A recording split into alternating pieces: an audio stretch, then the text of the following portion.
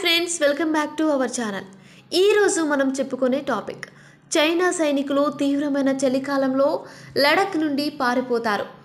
Robot చేతిలో machine gun ఇచ్చి సరిహద్దుకు డ్రాగన్ను పంపారు.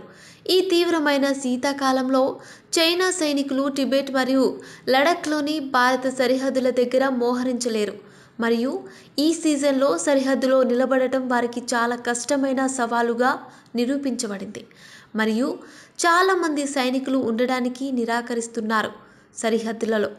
ఇంత చేసిన తర్వాత ఇప్పుడు చైనా భారత సరిహద్దు దగ్గర రోబోలను మోహరించడం ప్రారంభించింది. భారత సరిహద్దు దగ్గర చైనా మోహరిస్తున్న రోబోలు మెషిన్ గన్లను ఆపరేట్ చేస్తాయని పేర్కొన్నారు.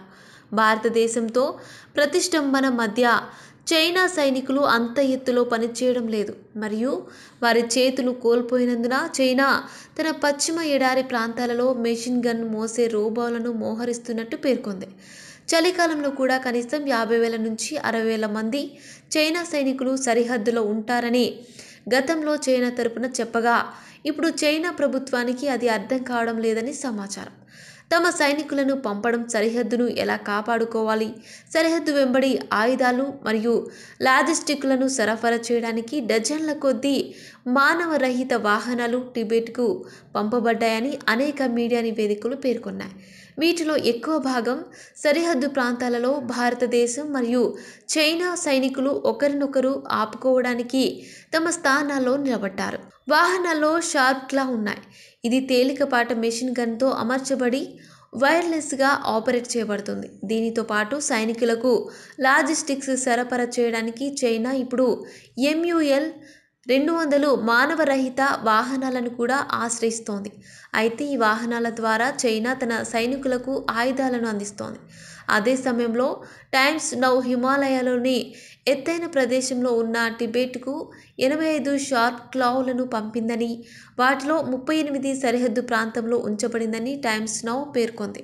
టైమ్స్ నౌ నివేదించిన ప్రకారం దాదాపు నూట ఇరవై మ్యూల్ రెండు వందలు టిబెట్కు కూడా పంపబడ్డాయి. వీటిలో ఎక్కువ భాగం సరిహద్దు ప్రాంతాల్లో మోహరించబడ్డాయి.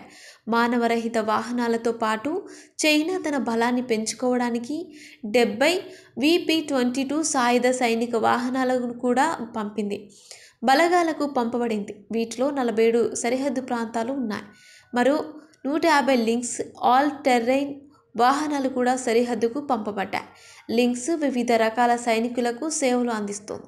మరియు తరచుగా సైనికులను ఒక ప్రదేశం నుంచి మరొక ప్రదేశానికి రవాణా చేయడానికి ఉపయోగించబడుతుంది. అదే సమయంలో ఇది హోవిట్చర్లు హెవీ మెషిన్ గన్లు మోటార్లు లేదా క్షిపణి లాంచర్లతో సహా వివిధ ఆయుధ వ్యవస్థల విస్తరణలో కూడా ఉపయోగించబడుతుంది. ఫ్రెండ్స్ ఈ వీడియో కనుక మీకు నచ్చినట్టయితే లైక్ చేయండి షేర్ చేయండి మా ఛానల్ని సబ్స్క్రైబ్ చేసుకోండి.